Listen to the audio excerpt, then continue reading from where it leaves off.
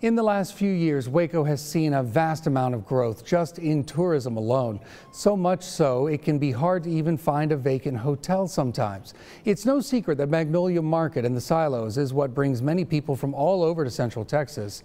But as Channel 6 News reporter Jasmin Caldwell explains, many also come asking what else is so special about Waco.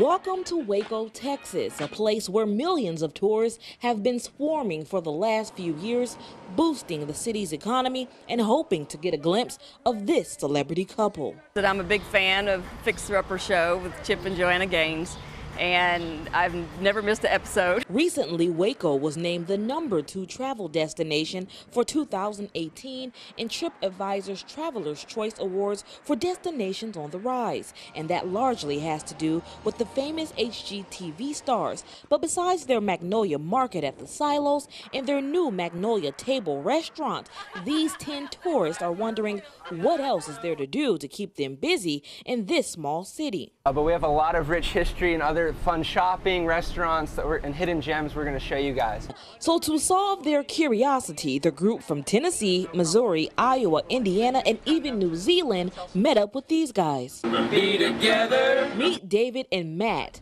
The two guys from Waco Tours lead a two-hour journey that will provide everything tourists need to know about the town's uniqueness. If you look on your left-hand side, you'll see the tallest building in Waco, the Alico. And its history. They wanted to move the capital of Texas to Waco because of how centrally located it is.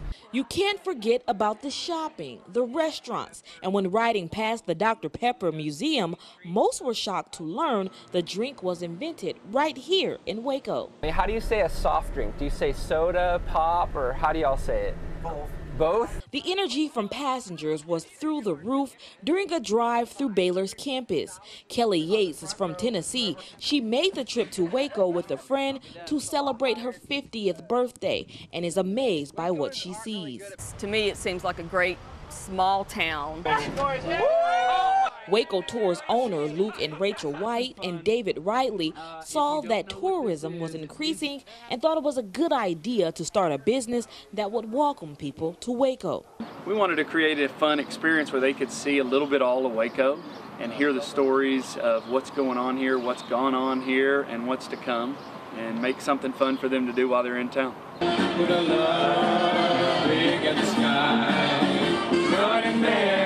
According to guides Matt and David, Cameron Park is Waco's hidden gem. The park is the second largest inner city park in America and is home to the Cameron Park Zoo and the dangerously beautiful Lover's Leap. But in Texas, we just call this the Brazos. Retired dentist Jeffrey Akey traveled here from Iowa with his wife. The fixer-upper fan admits that before coming here, all he could really remember Waco for was for its tragic past. But after taking the tour, he now sees things a lot different. Obviously, the history of Waco with the Branch Davidian, you know, all that stuff in the past it's been renewed. Um, I don't even think about that anymore. There's no doubt that Chip and Joanna and these big rusted silos are the true reason why millions of tourists come here. But after seeing the Texas Sports Hall of Fame, the Texas Rangers Museum, and even stopping by Waco Staple Common Grounds, everyone in this group admits that the small city between Dallas and Austin has a lot to offer. Um, this tour brought about um, more than just uh, what we came down here for. And so I would re highly recommend this trip down to Waco. It's up to you. What's your pleasure? Everyone around the world. Come on. All right, everyone, wash the windshield. That was Jasmin Caldwell reporting. Tourists are spending a lot of money when they come to Waco. Just last year, tax receipts from travelers totaled $9.4 million. The owners of Waco Tours say they have seen a high demand in just a couple of years.